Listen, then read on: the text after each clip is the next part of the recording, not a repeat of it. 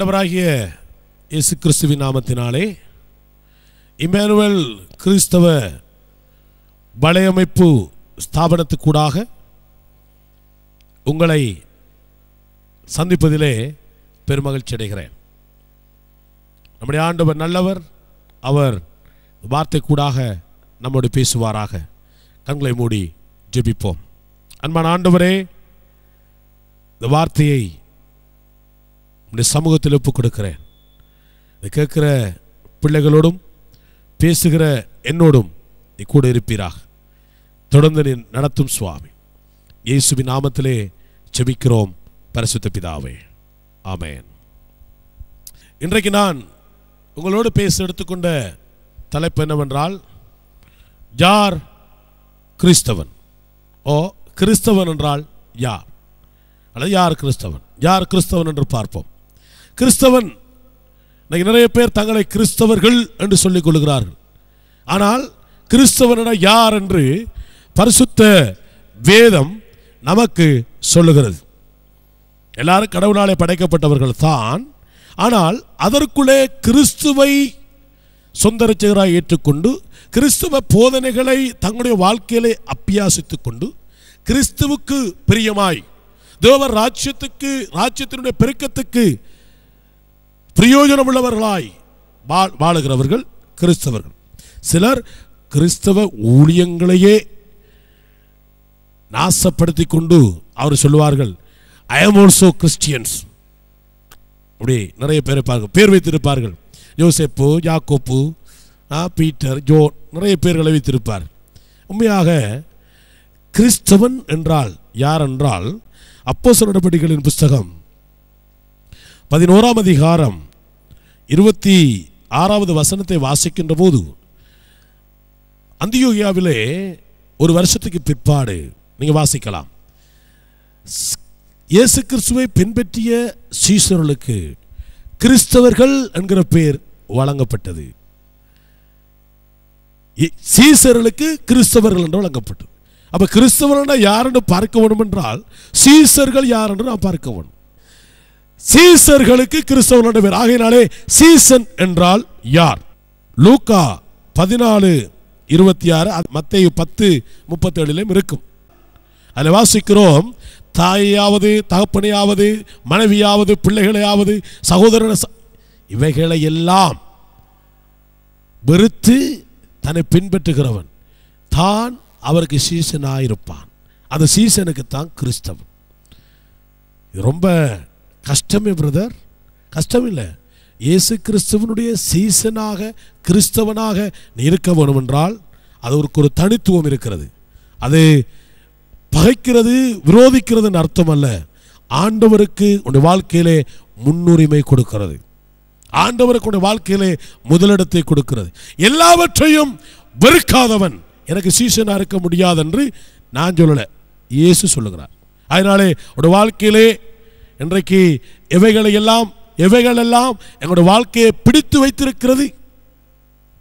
கெட்ட பழக்க வழக்கங்கள் தகாத சகவாசங்கள் தகாத உறவுகள் தகாத பழக்க வழக்க இவைகளெல்லாம் வைத்துக்கொண்டு இன்னைக்கு நிறைய பேர் உலகத்தில் சொல்லிக் கொள்கிறார்கள் நாங்களும் கிறிஸ்தவர் தான் எங்களுக்கும் பைபிள் தெரிந்தான் பைபிள் தெரிந்தவர்களாம் கிறிஸ்தவர்கள் சொல்லலாம். கிறிஸ்தவர் என்றால் இயேசு கிறிஸ்துவுக்காய் தனக்குண்டான எல்லாவற்றையும் வெறுத்து அவரை பின்பற்றுகிறவன் அவருக்கு சீசனா இருப்பான். அவனுக்கு பேர் கிறிஸ்தவன். லூக்கா பதினாலாம் அதிகாரம் இருபத்தேழு முப்பத்தி மூன்று வசனங்களை நான் பார்க்கின்ற போது இயேசு கிறிஸ்து சொல்லுகிறார் தன்னைத்தானே வெறுத்து தன் சிலுவையை எடுத்துக்கொண்டு என்னை பின்பற்றுகிறவன் கிறிஸ்தவன். சீசன் அந்த சீசன் கிறிஸ்தவன். சிலுவையை எனக்கு எத்தனை பேருடைய தோளிலே சிலுவை இருக்கிறதோ இல்லையோ தெரியாது. ஆனா பெரிய கத்திரிக்கு கிறிஸ்தவர்கள் என்று சொன்னால் தோளில் இருக்க வேண்டியது சிலுவை கத்தி கிடையாது. சிலாக்களை கண்ணோட வெட்டுறது முறைச்சிட்டு போறது அப்படி அது கிறிஸ்தவர்கள் கிடையாது. அது உலகம்.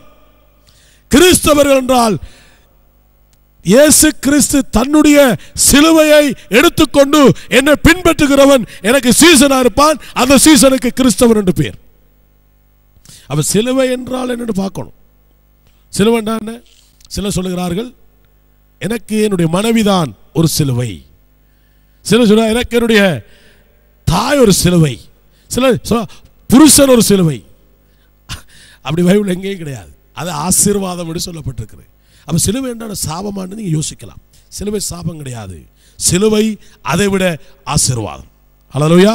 சிலுவை வந்து கெட்டு போகிறவனுக்கு அது பைத்தியம் ரட்சிக்கப்படுகிறவனுக்கோ அது தேவப்பலன் என்று பவுல் சொல்லுகிறார். அப்போ இந்த சிலுவை என்றால் என்ன?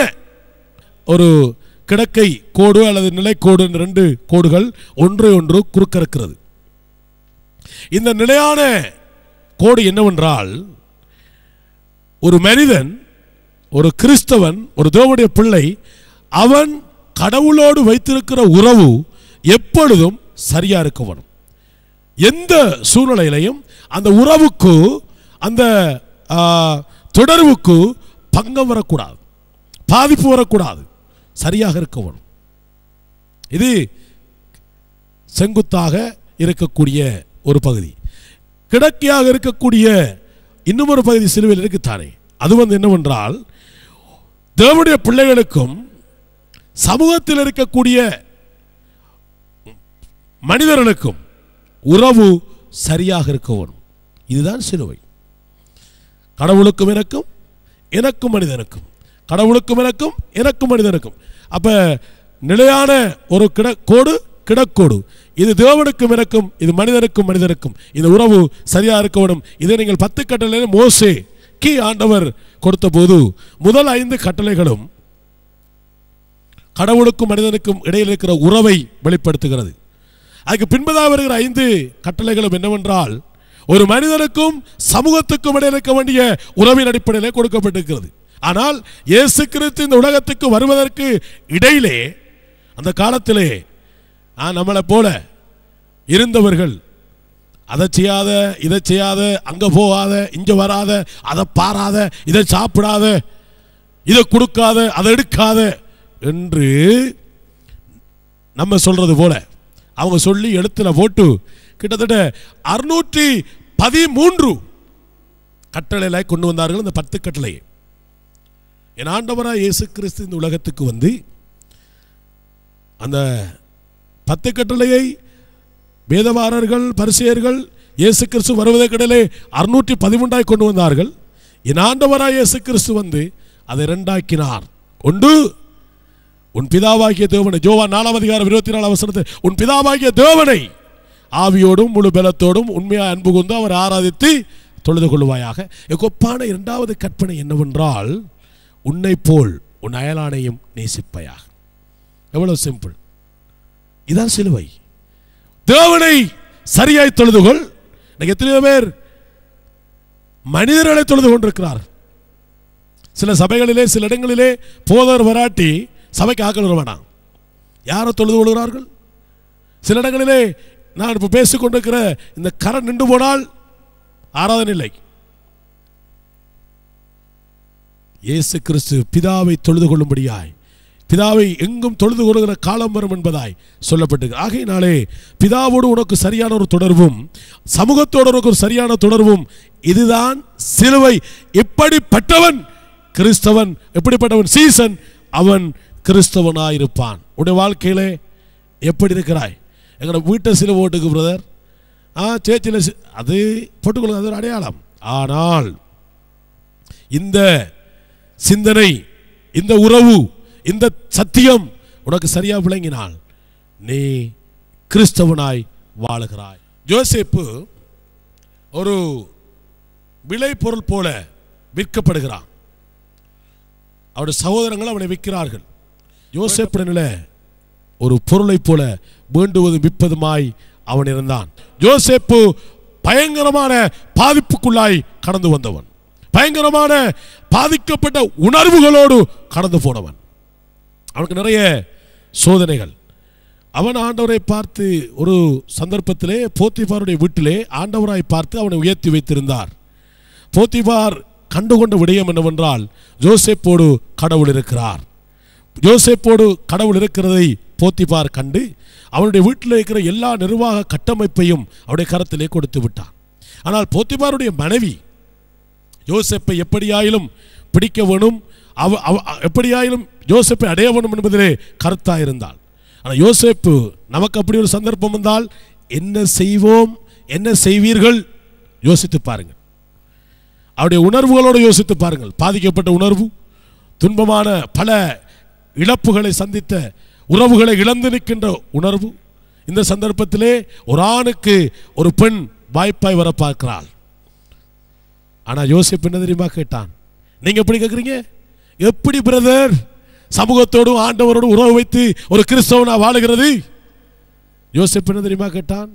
பாவம் செய்ய அவள் அவனை அணுகின போது அவனை பிடித்த பொழுது இழுத்த போது இத்தனை பெரிய பொல்லாப்பை என் தேவனுக்கு விரோதமாய் எப்படி நான் செய்வது? அது அவன் முப்பத்தொன்பது ஒன்பதுல நீ வாசித்து பார்க்கலாம். இப்படிப்பட்ட பொல்லாப்பை என் தேவனுக்கு முன்பதாய் எப்படி செய்வது? அவன்ட கேள்வி பரிசுத்தமான கேள்வி. கிறிஸ்தவர்கள் நாங்கள் பரிசுத்த ஆவியை அபிஷேகத்தை பெற்றோம் என்று சொல்லுகிறோம். சபைக்கு ஒவ்வொரு நாளும் போகிறோம். ஞானஸ்தானம் எடுத்திருக்கிறோம். காணிக்கை உரம் கொடுக்கிறோம். தசமமாக போடுகிறோம்.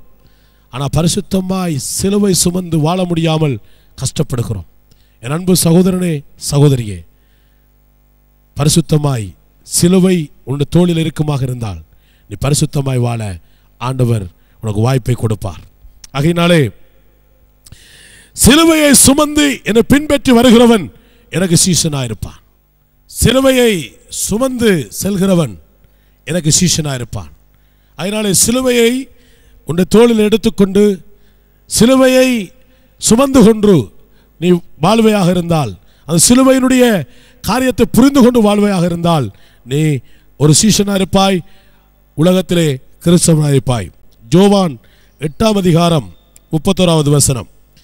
நீங்கள் வாசிக்கலாம். ஜோவான் எட்டு முப்பத்தொண்டு கிறிஸ்துவனுடைய உபதேசத்தில் நிலைத்திருக்கிறவன் எனக்கு சீஷனா இருப்பான். கிறிஸ்துவனுடைய உபதேசம் எனக்கு நிறைய உபதேசங்கள் நிறைய உபதேசங்கள். ஆனா கிறிஸ்தவனா இருக்க விரும்பினால் கிறிஸ்துவனுடைய உபதேசங்களிலே நிலைத்திருக்க வேண்டும். அது அதிலே மாற்றம் வராது. உபதேசங்களிலே மாற்றம் இல்லை இன்னைக்கு அடுத்த குறிப்பாக கிறிஸ்தவனா இருக்க விரும்பினால் சீசனா இருக்க வேண்டும். அடுத்த குறிப்பாக கனி கொடுக்கிறவன். நான் வாசி பதினைந்து எட்டாம் வசனம் முதல் பதினோரு வசனம் வரைக்கும் உள்ள பகுதியை வாசிக்கின்ற போது கனி கொடுக்கிறவன். கனி கொடுக்கிறண்டா? நான் இந்த பாடத்துக்கு இந்த விடயத்திலே அதை ஒரு ஆத்தும ஆதாயம் செய்கிறவனாக நான் பார்க்கிறேன். ரட்சிக்கப்பட்டவன் கிறிஸ்தவனா இருக்கிறவன் தன்னுடைய ஆக்களை தனக்கு தான் பெற்ற சாட்சியை தான் பெற்ற அற்புதத்தை தான் பெற்ற ரட்சிப்பை தான் பெற்ற மன்னிப்பை தான் தன்னுடைய வாழ்க்கையில் ஏற்பட்ட மாற்றத்தை சாட்சியாய் அறிவித்து சுவிசேஷம் அறிவித்து கனி கொடுக்கிறவனாய் ஆத்தும் ஆதாயம் பண்ணுகிறவனாய் இருக்கிறவன் கிறிஸ்தவன். ஊழியங்களிலே ஈடுபடுகிறவன் கிறிஸ்தவன். கிறிஸ்தவனோடு கையை கட்டி சும்மா இருக்க மாட்டான். பார்த்துட்டு இருக்க மாட்டான். அவன் கிறிஸ்தவன் கிடையாது. ஹெல்பிங் மைண்ட் மினிஸ்ட்ரி இவைகள் ஒரு மனிதனுடைய வாழ்க்கையில் இருக்கின்றால் அவன் ஒரு கிறிஸ்தவன். சில நீங்க யோசிக்கலாம் அதுக்கு தானே பாஸ்டர்?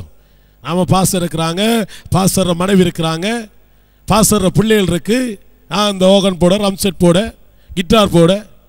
இருக்கட்டும் அவங்க செய்யத்தான் வேணும் அவங்க தான் செய்வாங்க.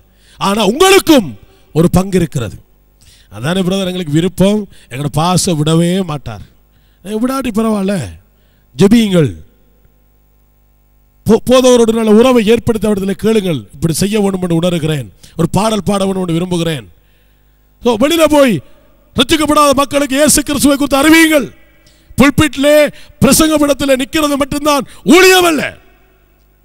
ஆத்துமாதாயம் செய்கிறவன் என்னுடைய சீசனா இருப்பான் அவன் கிறிஸ்தவனா இருப்பான் அதனாலே இந்த காலையிலே இந்த வேளையிலே ஒருவேளை இதை பார்த்து கொண்டிருக்கிற உன்னுடைய வாழ்க்கையிலே இப்படிப்பட்ட எண்ணங்கள் இருந்ததென்றால் இப்படிப்பட்ட பிரிய நான் கத்தருக்காய் பயன்பட வேண்டும் என்ற ஒரு எதிர்பார்ப்போடு இருப்பாயாக இருந்தால் உன்னை கத்தர் கட்டாயம் பயன்படுத்துவார்.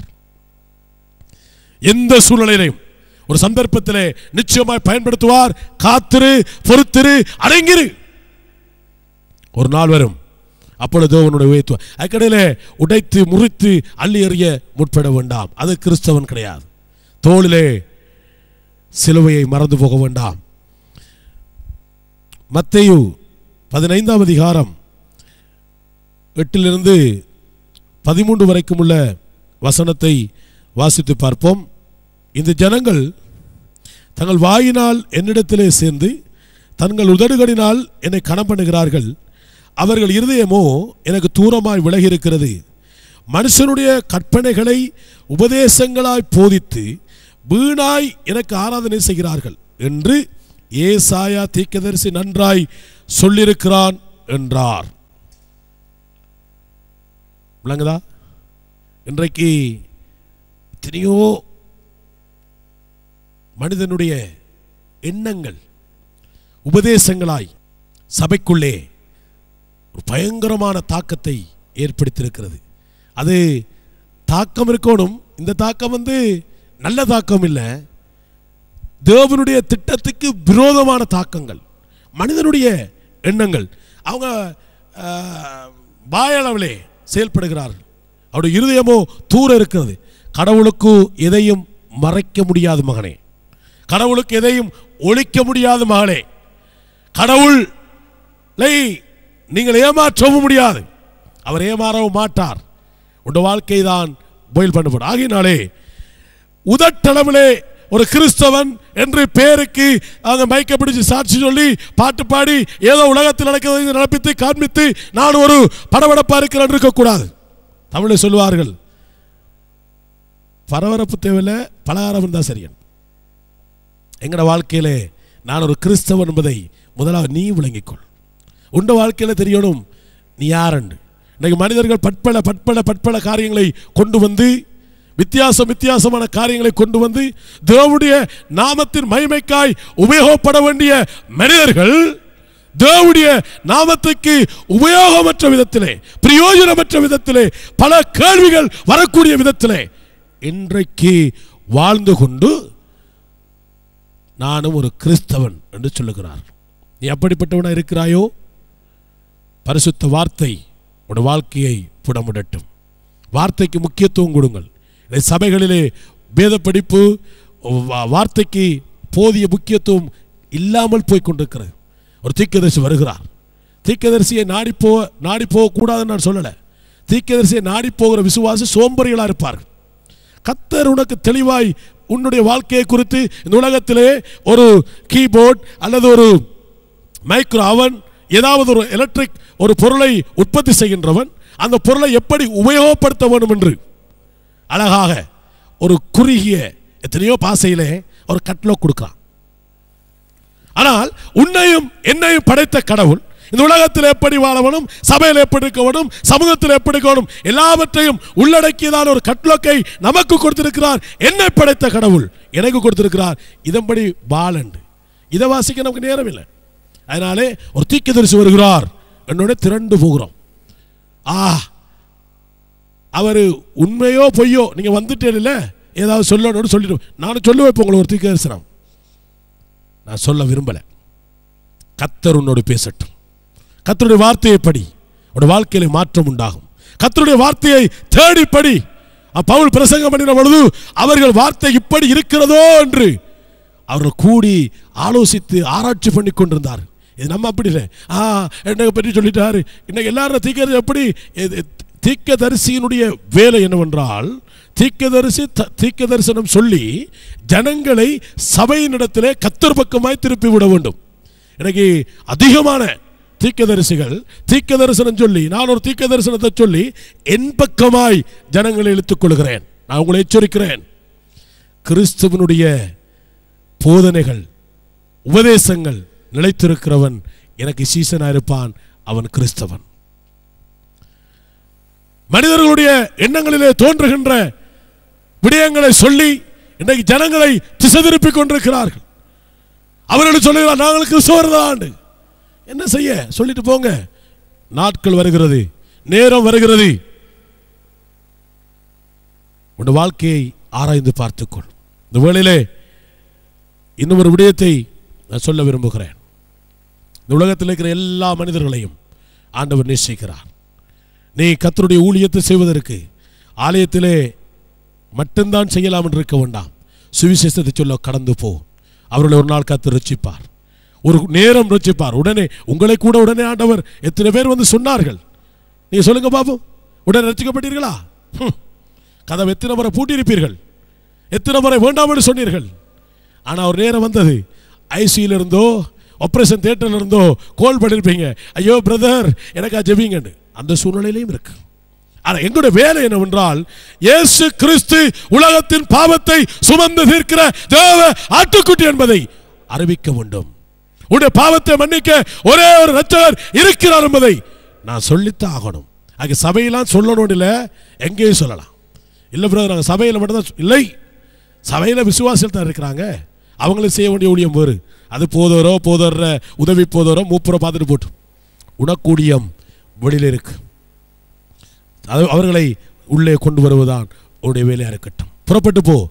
முடிந்த அளவு தேவனுடைய ராஜ்யத்தின் சுவிசேஷத்தை நட்சதியாய் பிரசங்கி. கிறிஸ்தவ வாழ்க்கையும் தத்துவத்தையும் உண்மை தத்துவ நியதியையும் பண்புகளையும் இயல்பையும் எடுத்துச் சொல். நீ ஒரு கிறிஸ்தவனாய் போய் சொல். உடைய வாழ்க்கையில் மாற்றம் இல்லாமல் மாற்றத்தை எதிர்பார்க்க வேண்டாம். ஆகினாலே இந்த கதை கூட சொல்லி நான் முடிக்க விரும்புகிறேன். சில நினைத்துக் கொண்டிருக்கிறார் நாங்கள் மட்டும்தான் என்று ஒரு மூப்பர் சபையிலே ஒரு மூப்பர் ஐரோப்பியாவிலே நான் கேள்விப்பட்ட கதை இது.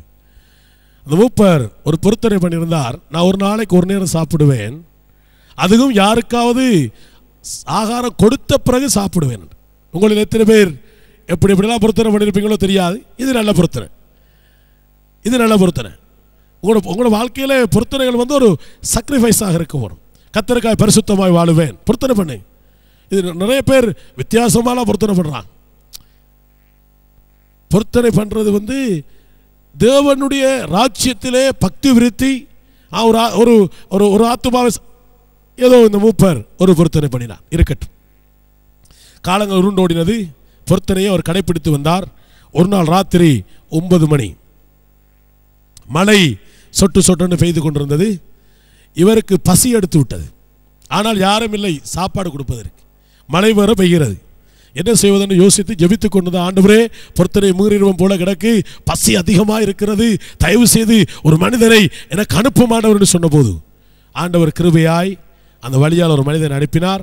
அவருக்கு வயசு எழுபத்தி ரெண்டு முதியவர் அவர் மலை சாரலிலே தூற்றலிலே நனைந்து குளிரோடு நடந்து கொண்டு வந்தபோது இந்த மூப்பர் அவரை பிடித்து ஐயா இந்த மலையில் நனைந்து கொண்டு போறீர்கள் குளிரா இருக்கிறது. வாருங்கள் என்னோடு ராவிருந்து உண்டு போகலாம் என்று சொல்லி அவரை உள்ளே எடுத்து உடுப்பு மாற்றி குளிக்க வைத்து ஆகார மேசையிலே அங்கே கொண்டு அவரை இருத்தி இதெல்லாம் நீங்கள் சாப்பிடலாம். நீங்கள் சாப்பிட போறா நான் சாப்பிடுவேன். என்று சொன்னார். அவர் சாப்பிட குந்திட்டார் அந்த வயசு போன ஐயா எழுபத்தி ரெண்டு வயசு.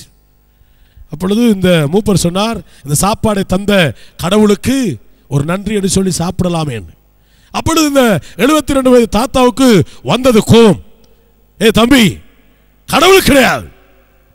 நீ சாப்பாடு வந்திருக்கா உனக்கு வேணுமென்னா நன்றி என்று சொல்லிட்டு நான் சாப்பிடுத்து போயிட்டு இருக்கிறேன் என்னை ரோட்டால போனனே இழுத்து ஏயா இப்படி டோர்ச்சர் பண்றாண்டு அவர் இவரோடு முரண்பட்ட பொழுது இந்த மூப்- மூப்பருக்கு வந்ததே கோபம் மூக்கில். சில மூப்பர்மார் இருக்கிறாங்க. ஒன்று தீமத்தையும் ரெண்டு தீமத்தையும் தீர்த்துக்கள் அப்பால் பட்ட ஆக்கள். கோபம் தான் வரும். முதல் கோபம் தான் புறம் தீர்வு ஐயோ பயங்கரமான வாத பிரதிவாதங்களுக்கு பிற்பாடு அந்த மனுஷன் சாப்பிடல. ஆண்டவரிடத்திலே நன்றி சொல்லாத உனக்கு நான் சாப்பாடு தர முடியாது என்று புரடில விடுத்து வெளியிலே தள்ளிவிட்டார். ஆனா இவருக்கு பசி. இவர் ஜெபிக்கிறார் ஆண்டவரே ஒருத்தனை அனுப்பு. ஆண்டவர் சொன்னார் நான் ஏற்கனவே ஒருத்தனை அனுப்பிட்டேனே. இப்ப சாப்பிட்டு முடிஞ்சிருக்கணுமே. நீ சாப்பிடலாமே. அவ்வளவுதான். இவர் சொன்னாராம் ஆண்டவரே அவன் கடவுளே இல்லை என்று சொல்லுகிறான். அவனுக்கு எப்படி நான் சாப்பாடு கொடுக்கிறது?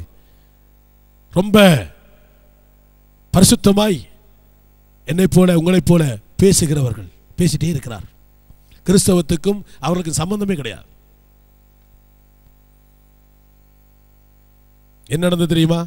அனு சொன்னார் மூப்பரிடத்திலே எழுபத்தி ரெண்டு ஆண்டுகளாய் அவன் கடவுள் இல்லைன்னா சொல்றான். நான் அவனுக்கு உணவு கொடுத்து உடை கொடுத்து உயிர் வாழக்கூடிய சுகவேலம் கொடுத்து பாதுகாப்பு கொடுத்து இதுவரைக்கும் நடத்தி வந்தேன். இன்னும் சில வினாடிகளிலே அவன் மறித்து விடுவான். அதனாலே தான் உன்னிடத்திலே அவன் அனுப்பினேன். என்னை அறிமுகப்படுத்தும்படியா? நீயோ சந்தர்ப்பத்தை பயன்படுத்திக் கொள்ளவில்லை. மகனே என்று சொன்ன பொழுது உனக்கு ஒரு நேரம் சாப்பாடு கொடுத்து ஆறமர என்னை பற்றி அவனோட பேச முடியலை என்று சொன்ன பொழுது நீ ஒரு கிறிஸ்தவனான்னு ஆண்டவர் கேட்கல. ஆனால் நான் கேட்குறேன் அப்படிப்பட்டவங்க ஒரு கிறிஸ்தவராக இருக்கலாமா? ஒரு நேரம் சாப்பாடு கொடுக்கல இயேசுவை குறித்து அவர் சொல்லுவதற்கு ஒரு வாய்ப்பை கத்த பெற்று தந்தார்ல? என் அன்பு சகோதரனே ஆண்டு சொன்னார் இன்னும் சில ந- வினாடிகளில் அவன் மறைத்திருவான் இவர் வெளியிலே மூப்பர் ஓடினார் மலை தூற்றலை நனைந்து ஓடிக்கொண்டிருக்கிறார். அந்த வயது போன தாத்தா அங்கே விழுந்து மறைத்து விட்டார். உன் வாழ்க்கையில் இப்படிப்பட்ட பல சந்தர்ப்பங்கள் உனக்கு கிடைத்திருக்கிறது. நீ அதை மிஸ்யூஸ் பண்ணிக்கலாம். எனக்கு ஒரு தீர்மானத்தை எடு. கிறிஸ்தவனாய் கிறிஸ்தவ உதவி உபதேசத்திலே சிலுவையை சுமந்து கொண்டு எல்லாவற்றையும் வெறுத்து உதட்டளவிலே மாய்மாலத்திலே மனிதனுடைய சிந்தனை அல்ல வேத சத்தியத்துக்குள்ளே அடங்கி பரிசுத்தமாய் வாழ்ந்து நான் தேவனுடைய பணியை செய்வேன். அப்படிப்பட்டவன் தான் கிறிஸ்தவன். நீ ஒருவேளை இந்த சூழ்நிலையிலே தாக்கப்பட்டிருக்கலாம். உதவி செய்ய போய் உபத்திரவப்பட்டிருக்கிற பிரதர் எல்லாரும் நான் கண்களை மூடுவோம். நான் ஜெபிக்க போகிறேன். உன்னோட வாழ்க்கையை கத்தருக்கு ஒப்புக் கொடு எது எப்படி இருந்தாலும் தேவன் உன்னை காண்கிறார். நீ இருக்கிற சூழ்நிலை அவர் அறிவார். உன்னுடைய மனநிலையும் அவர் அறிவார். நீ படுகிற பிரயாசத்தையும் அவர் அறிவார். நீ பண்ணுகிற முறுமுறுப்பையும் அவர் அறிவார். எவ்வளவு நேரம் முறுமுறுக்கிறாய்? எவ்வளவு நேரம் ஜபிக்கிறாய் என்பதையும் அவர் அறிவார். எவ்வளவு நேரம் வேதத்தை ஆராய்கிறாய் என்பதையும் எவ்வளவு நேரம் இன்னொருவருடைய தவறை ஆராய்கிறாய் ஆராய்கிறாய் என்பதையும் அவர் அறிவார். வேதத்தை ஆராய்ந்து பார். உன்னுடைய வாழ்க்கையை கத்தருக்கு ஒப்புக்கொடு. நீ கிறிஸ்தவனாய் வாழ தீர்மானப்படு கிறிஸ்தவனாய் வாழுகிறன்னு சொல்லல்ல கிறிஸ்தவனாய் வாழ தீர்மானப்படு கண்களை முடி ஜெபிப்போமா? அன்புள்ள ஆண்டவரே இயேசுவின் நாமத்திலே நான் ஜெபிக்கிறேன். நீர் எங்களை ஆளுகிறீர். தொடர்ந்து ஆளுவீராக. இந்த செய்தியை கேட்டுக்கொண்டிருக்கிற இந்த கண்களை மூடி ஜபித்துக் கொண்டிருக்கிற பிள்ளைகளுக்காக நான் ஜபிக்கிறேன். ஒருவேளை இந்த வாழ்க்கையிலே கிறிஸ்தவத்தின் தன்மையை கிறிஸ்தவத்தின் விழுமியத்தை கிறிஸ்தவத்தின் இயல்பை இழந்து விட்டோம் என்று உணர்வார்கள் என்றால் அவர்கள் திரும்பவும் கிறிஸ்தவத்துக்குள்ளே கடந்து வர உதவி செய்வீராக. இந்த அடிப்படை தத்துவங்களுக்கு வேத சத்தியங்களுக்கு தங்களுடைய வாழ்க்கையை ஒப்புக் கொடுக்கிற பிள்ளைகளாய் ஒப்புக் கொடுக்கிற ஒவ்வொரு பிள்ளைகளுடைய வாழ்க்கையிலும் ஒரு மாற்றத்தை கொண்டு வர வேண்டும் என்று நான் ஜெபிக்கிறேன். முக்கியமாய் பாதிக்கப்பட்டிருக்கிற ஓ நான் இன்னும் சரியாக கிறிஸ்துவை அறியாமல் நான் அறகுறையாய் அறிந்து ரொம்ப பாதிக்கப்பட்டிருக்கிறேன் என்று சொல்லுகிறவர்கள் மனந்திருமணி கிருப கொடுப்பீராக. ஆண்டவரே எனக்கும் இந்த இயேசு தேவை என்று. யாருக்கும் தெரியாமல் இருட்டறையிலே போராடி ஜெபித்துக் கொண்டிருக்கிற அன்பு சகோதரியை அன்பு சகோதரனை அந்த வாலிப தம்பியை தங்கச்சை நீ உம்முடைய வல்லமை உள்ள கரம் அவளை பயன்படுத்தட்டும். அவர்களுக்கு இருக்கிற அந்த ஊழிய வாஞ்சை வரங்கள் தாளந்துகள் உங்களுடைய ராஜ்யத்தின் பெருக்கத்துக்காக பயன்படுத்தப்பட ஒரு சந்தர்ப்பத்தை கொடும் ஆண்டவரே. இயேசுவி நாமத்திலே ஜெபிக்கிறேன் பரிசுத்த பிதாவே. ஆமேன். காட் பிளஸ் யூ கர்த்தர் உங்களை ஆசீர்வதிப்பாரா